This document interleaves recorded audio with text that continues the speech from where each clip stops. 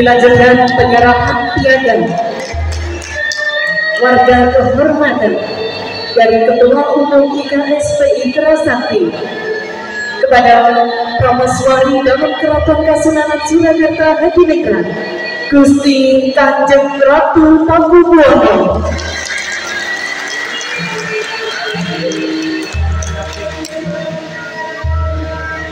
Dilanjutkan penyerahan cindera mata dari Ibu Ketua Umum